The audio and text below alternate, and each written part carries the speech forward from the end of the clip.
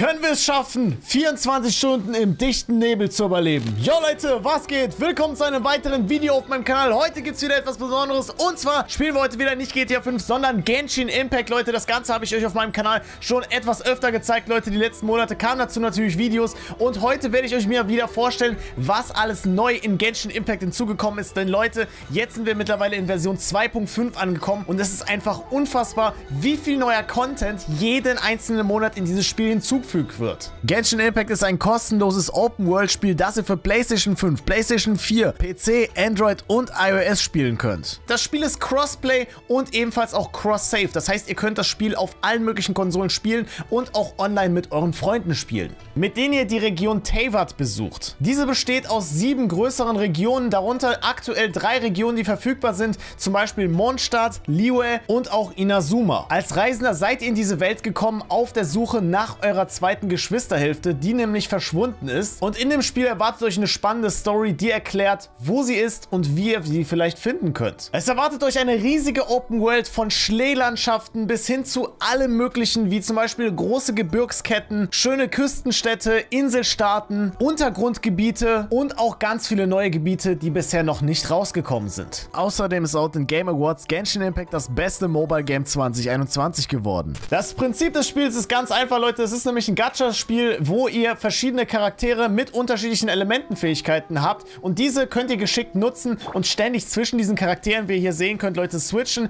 Mein Lieblingscharakter ist natürlich, Leute, momentan Hu Tao, weil ich buff die gerade, Leute, wirklich, dass sie die stärkste Charakterin wird, die Single Damage machen kann gegen einen einzigen Gegner. Also wirklich, der Schaden, den sie macht, ist einfach nicht mehr normal. Und damit ich euch das demonstrieren kann, schauen wir uns das Ganze mal an, Leute, denn wir haben hier auf der Minimap, wie ihr oben links sehen könnt, eine Art Kopfgeldjagd. Und das bedeutet, dass wir große Monster besiegen müssen. Und das machen wir jetzt als allererstes mal, Leute. Wir haben nämlich 10 Minuten Zeit, dieses Monster da hinten zu besiegen. Aber ich denke, das wird kein Problem für uns sein, Leute. Jetzt zeige ich euch mal, wie man die Elemente sehr, sehr gut kombiniert. Wir nutzen nämlich zu Beginn, Leute, Fischl. Das ist ein Elektrocharakter. Mit der machen wir erstmal quasi so einen Raben beschwören, der erstmal ein bisschen, äh, ja, Strom macht.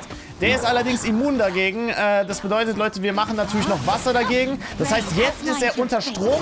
Jetzt machen wir die Ulti von ihr was Wasserschwerter sorgt, äh, ja, das dazu führt, dass der Charakter nass ist. Und jetzt, Leute, Hu Tao macht auf jeden Fall jetzt ihren Job fertig und macht den komplett finishen mit Pyro-Attacken. Und, oh boy, Leute, der nimmt auf jeden Fall Schaden. Ey, der ist schon halb down. Der ist einfach schon halb down. Okay, so, jetzt mal die nächste Rotation. Wieder switchen und let's go, Leute. So, Ulti aktiviert und Hutao macht den Rest. Jetzt machen wir den fertig. Jetzt wird, er, jetzt wird er keine Chance haben. So, und zack, zack.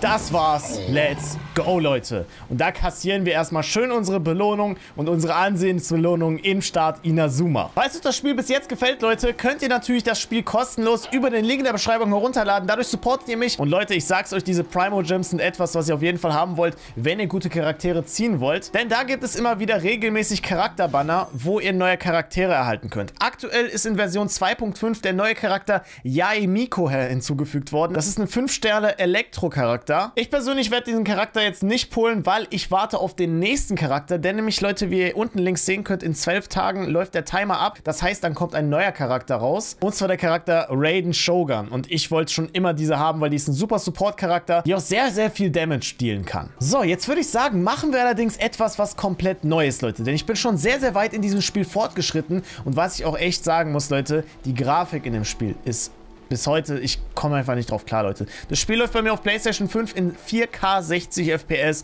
und es sieht so detailliert aus, Leute. Hat so einen ganz charakteristischen, ja, Anime-Stil, würde ich sagen. Mit so ein paar Outlines an den Charakteren, aber ich meine, Leute, alles ist liebevoll designt. Ihr könnt diese gesamte Welt komplett Open World erkunden. Und hier gibt es irgendwelche Schatzjäger, ne? Wollt ihr Stress? Ah, ich mach dich jetzt mal fertig. So, zack, zack. Und let's go. Du willst auch noch Stress? Okay, dich mache ich fertig. Mein Kollege da hinten hat auch Stress, nicht wahr? So, let's go. Einfach mal gefinisht mit 39.000 Damage. Achso, und der ist auch noch hier. Ja gut, dann äh, komm, dich machen wir auch noch kurz fertig. Zack, zack, zack. Let's go. Ich habe euch aber erwähnt, dass wir heute eine 24-Stunden-Challenge machen, Leute. Und zwar in einem neuen Gebiet. Und zwar gibt es das sogenannte Gebiet Enka Neumir. Das kam nämlich in Version 2.4 heraus. Ist ein riesiges Gebiet unter einer Unterwasserwelt, die wir erkundet haben. Und in diesem Gebiet ist jetzt in dem neuen Update 2.5 etwas Neues rausgekommen. Und das würde ich sagen, schauen wir uns mal zusammen an. Bin zum Glück weit genug, Leute, in dem Spiel, dass ich das freigeschaltet habe. Und zwar ist das Ganze ein Saison-Event. Und zwar sollen wir mal mit Tsuyuko sprechen. Die befindet sich, glaube ich, in diesem Staat Enka Neumir. Enko Neumir. Ich, ich, ich spreche es immer falsch aus, Leute. Achso, übrigens Übrigens, falls ihr Genshin Impact feiert, lasst gerne auf diesem Video einfach einen Daumen nach oben da. Das wird mich auf jeden Fall sehr, sehr supporten. Oh, was passiert? Wir haben ja eine Cutscene, Leute. Oh, wir müssen da wieder reingehen. Your Excellency. Ah. Traveler. Ja, äh, das bin ich, das bin ich, ja. Aha. Hope you're both having a wonderful date so Äh, nee, wir sind eigentlich nicht dabei, uns zu daten. Also, ich habe andere. Genau. Case, Ja, es geht wieder nach Enkanomia. Kokomi filled. Achso, und das habe ich vergessen zu sagen. Wir werden noch ständig begleitet von unserem fliegenden, ähm, viele sagen Haustier Paimon. Die äh, ist auf unserer Reise. Irgendwo haben wir sie am Anfang kennengelernt und seitdem ist sie bei Schritt und Tritt, steht sie uns zur Hilfe. Oh, wir kriegen heute was von ihr. Ist das ein...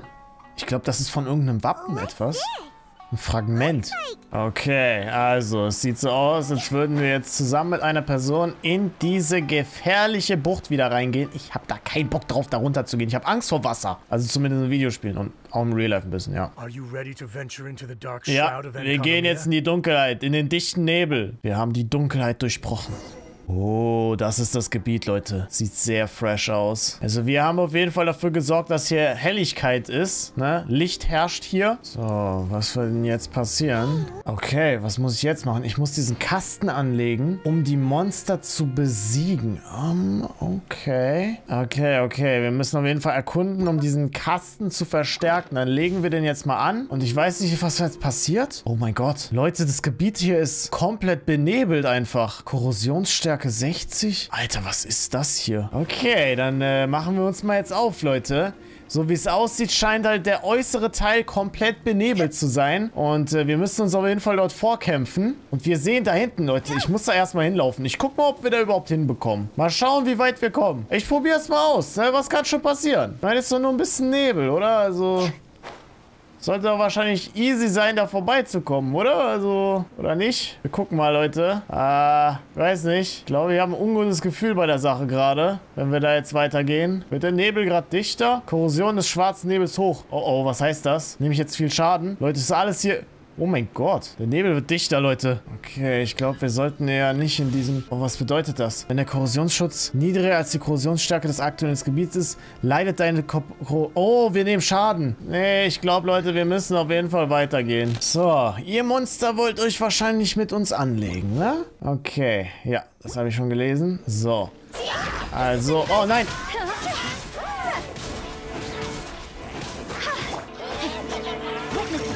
Sammle, glaube ich, irgendwie Schmutz von den Gegnern auf. Beseitige mit Hilfe des... Ach so! Ich muss, ich muss L1 und Kreis drücken. Ah, jetzt haben wir, glaube ich, den Schmutz aufgesammelt. Es hat irgendwie funktioniert. Ich habe es nicht ganz verstanden, aber es hat geklappt. Ja, danke. Okay, ich werde jetzt ein bisschen schlauer aus der Sache. Um weiter in diese Gebiete vorzudringen, müssen wir mehr Energie sammeln und müssen diesen Kasten benutzen, um diesen Art Nebelschmutz aufzusammeln. So, und wenn wir das machen, schalten wir dann diese Herausforderung frei, mit der wir dann fighten können.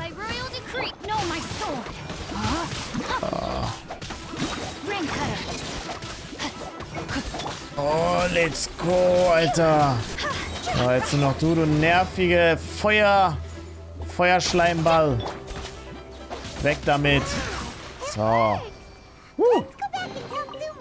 Go Während wir auch durch die ganze Map laufen, Leute, kann ich euch auch sagen, was alles jetzt in dieser Version 2.5 neu hinzugekommen ist. Ich habe gerade die beiden neuen Charaktere angesprochen. Also ja, Emiko ist der neue Charakter und Raiden Shogun bekommt einen Rerun. Also sie wird jetzt äh, wieder einen neuen Run bekommen, wo man sie wieder ziehen kann als Charakter. Hinzu gibt es zwei neue Legendenaufträge, die ich euch zeigen kann. Und zwar neue Story-Legendenaufträge zu Yae Miko und ein neuer Shogun-Boss, Leute, den ihr wahrscheinlich in dem zweiten Akt von Raiden Shogun abschließen könnt. Und hier seht ihr so ein bisschen, Leute, aus dem Trailer, wie das Ganze aussieht mit Raiden Shogun, mit der zweiten Variante. Und es sieht auf jeden Fall sehr, sehr gefährlich und sehr schwer aus. Und es kommt bald auch ein Update, Leute, zur Kanne der Vergänglichkeit. Da gibt es ein spezielles Event, wo ihr eigentlich eigene Level erstellen könnt. Ihr könnt Challenges machen, wo man Münzen sammeln muss und vieles, vieles mehr, Leute. Jump-and-Run-Sektionen, so ein bisschen Mario Maker-Style, muss man sagen. Und das als temporäres Event in Genshin Impact. Und ich bin schon sehr, sehr gespannt, was für Challenges dort rauskommen. So, jetzt würde ich sagen, gehen wir allerdings mal zu der lieben Zumi, die uns nämlich das Ganze hier erklärt hat. Okay, danke schön für die Karte. Wir müssen auf diese drei Inseln drauf. Okay. Also jetzt bin ich mal gespannt. Die Challenge beginnt. So, das sind die Belohnungen, die man in dem Event freischalten kann. Und das sind echt eine Menge Belohnungen, muss ich sagen. So, hier müssen wir zu der Statue geben und da etwas opfern. So, und sind jetzt auf Stufe 1 abgegradet und kriegen schon mal die erste Belohnung. Das ist auch mal cool. Okay, also wir sollten uns jetzt mal weiter fortschreiten und mal schauen. Also im Großen und Ganzen habe ich hier eigentlich alles erkundet, aber es wurden jetzt wieder neue Truhen gespawnt und wenn wir halt Truhen aufsammeln, bekommen wir die Sieg... Ah, ich sehe da schon wieder neue Truhen. Das ist was Neues, ja. Oh, es wird hier wieder neu Neues erkundet, Leute. Und natürlich das Beste, Leute, ist auch ganz klar die Musik in dem Spiel, ne? Super entspannt, super spannend auch manchmal. Einfach übelst passend immer zu der Situation. Jedes Gebiet hat eine eigene Musik Oh mein Gott, okay. Jetzt wird es hier schwerer. So, Korrosions... Äh, ja, jetzt sind wir, Leute, im dichten Nebel. Hier alles ist im dichten Nebel gehört bei uns. Und jetzt mal gucken. Also ich versuche jetzt mal ein paar Truhen von denen hier zu sammeln. Okay. So, jetzt haben wir diese Roboter-Kreaturen. So. Ja. Aber ihr macht hier nicht, nicht so viel Stress, ne? Kein Stress. Euch fresse ich zum Frühstück. Okay. Zack, zack, zack. So. Und Truhe ist geöffnet. So, sammeln wir was? Ah, ja, wir sammeln Siegel auf. Boah, aber mittlerweile... Ah, was ist das? Ich glaube, das brauchen wir. Lichtstrahl lenken. Okay, der Kasten kann benutzt werden, um die Vorrichtung zu aktivieren. Okay, ich glaube, ich habe es erstmal nicht zu 100% verstanden. Aber ich teste es mal aus. So, hier geht der Lichtstrahl. Ah, der geht einfach durch. Der geht einfach nur durch. Dann probieren wir es noch einmal. Wir drehen es. Ah, okay. Ich verstehe es, Leute. Wir müssen diesen Lichtstrahl nehmen und dahin lenken. Also machen wir jetzt folgendes. So, können wir das hier drehen? Ich muss das hier drehen können. Ah, nee, muss ich gar nicht. Ich muss das hier nur noch einfrieren. Ja, jetzt brauche ich einen Pyro äh, Kryo-Charakter, einen Eischarakter. So, und der friert das jetzt hier ein. So. Und wenn es jetzt, Leute, jetzt 200 IQ. Es sollte jetzt wahrscheinlich funktionieren. Das geht hier, das reflektiert da und let's go, Leute. Natürlich, der 200er IQ-ID-Zock ist mal wieder hier. Und Leute, ich feiere solche Rätsel. Die sind überall in dem ganzen Spiel versteckt. Boah, ey, das gibt so viel zu erkunden. Leute, da, alleine das hier, ne? Ich will es euch nur mal sagen. Das ist Teil eines Updates. Das ist Teil des Updates. Ich habe ein bisschen gegoogelt, wie lange das dauert, bis man all das hier clearen kann. Und allein das hier sollen circa 10 Spielstunden sein. Alleine dieser Content, der for free ist. Da, Leute, und da kriegt ihr Belohnung, da könnt ihr neue Charaktere pullen. Das wird eine echt coole Sache sein. So, ich glaube, wenn man das so... So... Schalte ich jetzt was frei? Oh, die beiden... Hä? Die sind nicht freigeschaltet. Muss ich irgendwie freilenken? Wir gucken mal. Ah, okay. Ja, das ist eine Zeitherausforderung. Also komm, sammel auf. Oh, let's go. Ja, weiter. Das ist richtig. Nein, das ist falsch. So, und wieder eine Belohnung. Leute, man wird ja die ganze Zeit belohnt in diesem Update. Ah, jetzt verstehe ich. Jetzt ist das hier aufgegangen. Und jetzt haben wir noch eine Challenge. Hier war doch irgendwo was anderes. Ah, da ist noch eine zweite Challenge. So, und jetzt... Oh, was muss ich in 45 Sekunden die Pulverfässer zerstören? So. Okay. Und wo ist die letzte? Hier. So. Chillig. So, und damit ist das hier frei. Und ich glaube, wir kassieren, let's go, die nächste Truhe. So muss das doch sein, Leute. Ah, okay. Jetzt muss ich hier die Kanne verwenden. Ah, ich habe verstanden. Leute, ich verstehe langsam, wie das hier alles läuft. Oh mein Gott. Okay, Vorsicht, Vorsicht, gefährlich. Gefahr, Gefahr. Ich muss hier reinigen. Ja. Ich hole den Schreck weg 3000 gleich raus. So, und zack, Junge. Ihr kassiert jetzt hier richtig verdampfen, elektrifizieren und alles eine komplette Abreibung. So. Ah, nee, das ist noch mehr. Oh mein Gott. Wie viele von denen? Äh, okay. Pyro. Die muss ich mit Wasser und Strom. Erstmal. So. Sein Schild ist gebrochen. So, der hat kein Schild mehr. Okay, let's go. Wo bist du? Da bist du. So, und zack. Okay. Herausforderung abgeschlossen. Sehr gut. Und das ist sogar eine wertvolle Truhe.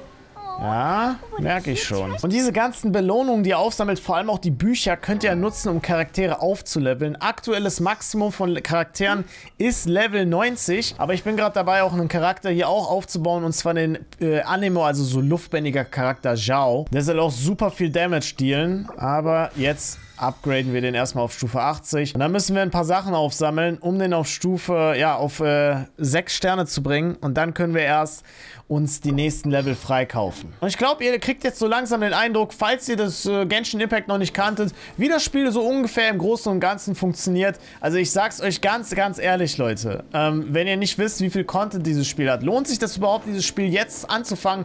Leute, es lohnt sich erst jetzt ganz, ganz, ganz besonders, dieses Spiel anzufangen. Alleine aufgrund der Tatsache, dass es kommt immer mehr Content und das Spiel ist Free-to-Play. Und ich finde, es ist ein sehr, sehr faires Free-to-Play-Spiel. Und ihr wisst auch, dass ich dieses Spiel jetzt schon öfter auf meinem Kanal gebracht habe und das würde ich nicht machen, wenn dieses Spiel schlecht wäre und wenn ich mich nicht mit der Thematik auskennen würde. Um ganz ehrlich zu sein, falls ihr es noch nicht mitbekommen habt, ich habe dieses Spiel wahrscheinlich jetzt schon über 300, 400 oder wenn nicht sogar 500 Spielstunden. Also ihr könnt es alleine hier an dem Abenteuerrang 54 sehen, dass ich eigentlich schon fast im Bereich Endgame bin. Und das Spiel macht einfach immer noch Spaß. Ich weiß nicht, wie es das Spiel geschafft hat, dass es so lange Spaß macht. Aber das ist halt einer dieser besonderen Sachen an Genshin Impact. Wenn man anfängt, dann kann man, dann kann man einfach nicht aufhören. Oh, das könnte der Weg nach oben sein.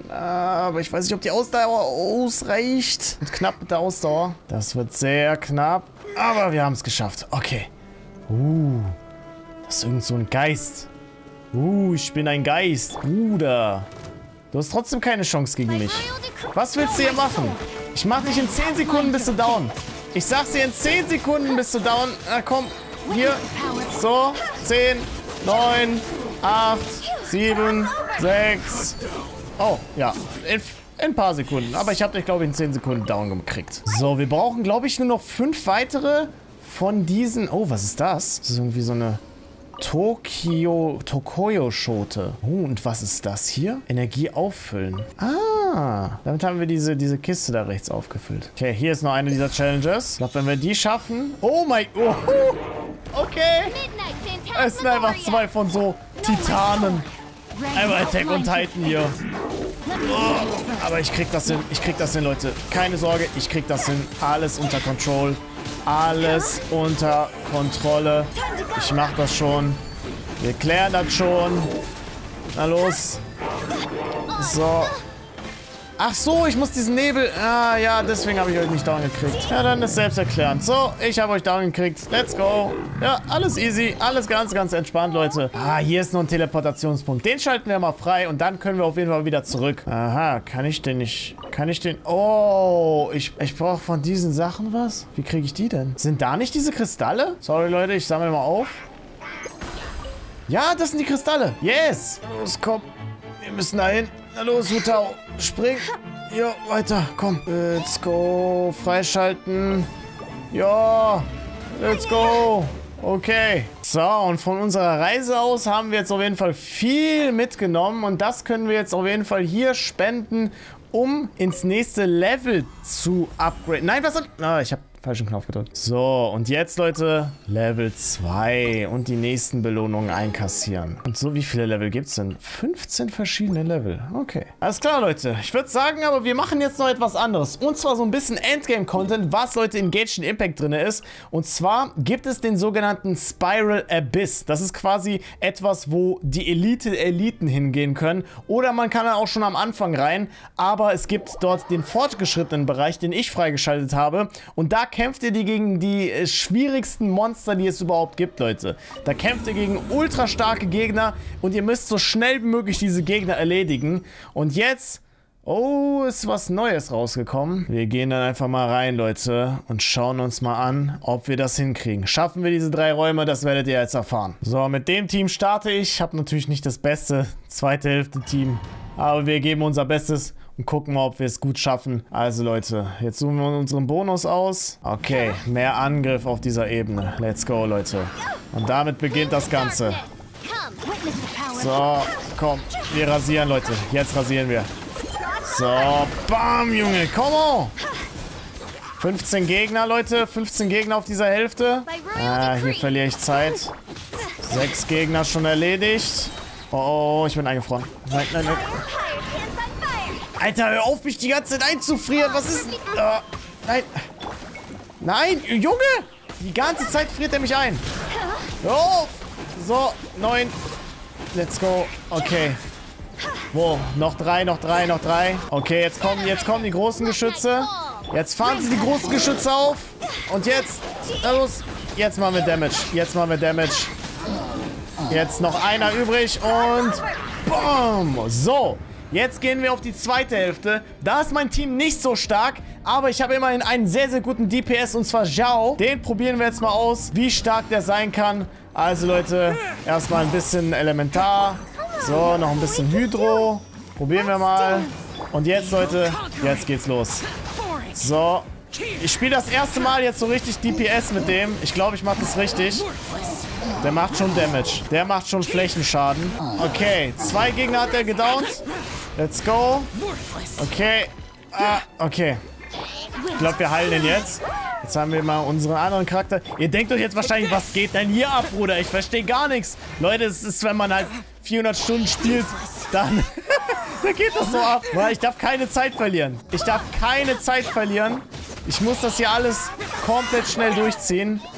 Aber der hält mich auf, ne? Der mit seinen... Ah, Mann.